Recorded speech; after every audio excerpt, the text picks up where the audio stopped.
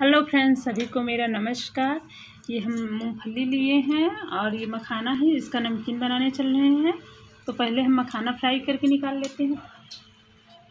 ये हम एक चम्मच ऑयल डाल रहे हैं। इसमें हम हल्दी डाल रहे हैं, आधा छोटा चम्मच। मखाना डाल दिए हैं।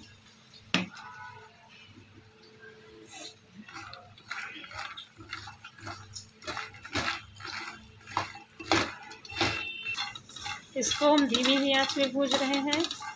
ये हमारा अभी मुलायम है। थोड़ा चुरचुराने लगा, टाइट हो जाए तो इसको हम निकालते हैं। ये मखाना हमारा हो गया है, ये चुरचुराने लगा है, इसको हम निकाल लेते हैं प्लेट में।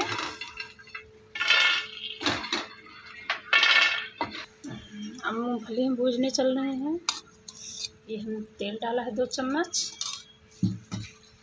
इसमें हम करी पत्ता डाल रहे हैं।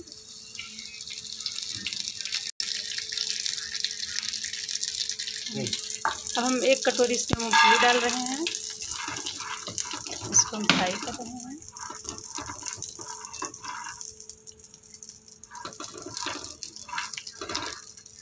धीमी ही आँच में हम फ्राई कर रहे हैं।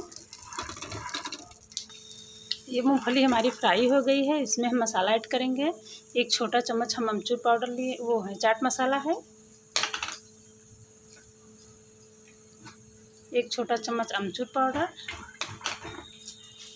ये हम काला नमक डाल रहे हैं थोड़ा सा सादा नमक हमारा है।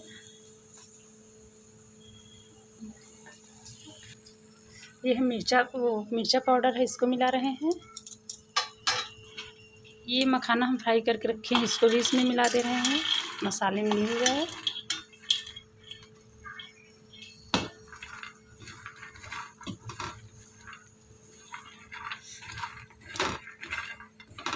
इसको मिक्स कर लिया हाँ। अच्छे से हम मिक्स कर ले रहे हैं।